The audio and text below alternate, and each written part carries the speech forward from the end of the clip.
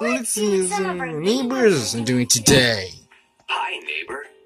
Today, our friends Chase and Addison are visiting a bug museum. They're going to see ants, worms, and some really big bugs. That's our friend Steve. He takes care of the bugs at the bug museum. The insect Steve is holding looks like a stick on a tree. This keeps other animals from thinking it's food. Hurt you. Some bugs are really nice, others aren't good to touch. It's important to ask a grown up which bugs are safe to touch. Those are ants in an ant farm.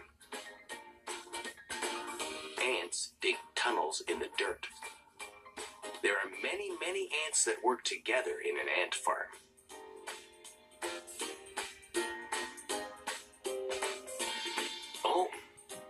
I see ladybugs.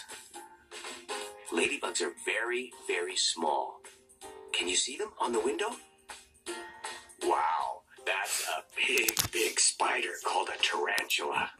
Steve knows how to hold the spider so he can show it to Addison and Chase.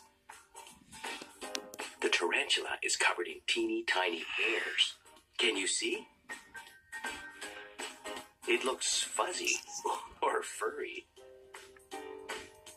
bugs are called millipedes. They have lots and lots and lots of legs. Look at those wiggly legs. Oh, what a neat day at the Bug Museum. Thanks for visiting with us, neighbor. We're like neighbors.